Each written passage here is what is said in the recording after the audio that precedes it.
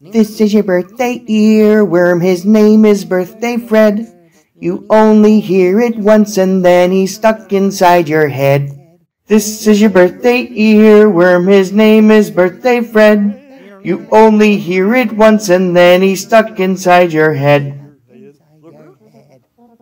This is your birthday earworm, his name is Birthday Fred.